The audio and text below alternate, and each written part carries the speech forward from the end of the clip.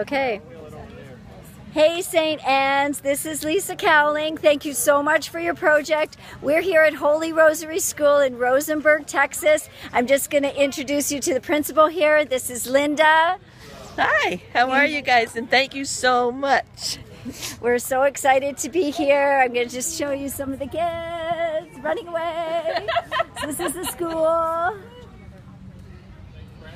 And the backpacks are actually going to be going as part of an initiative that their school is doing to a school that was totally flooded, and the kids still are not in the school. So this is our um, our contribution to what they're already doing to help. So way to go, guys, back at St. Ann's in Hamilton.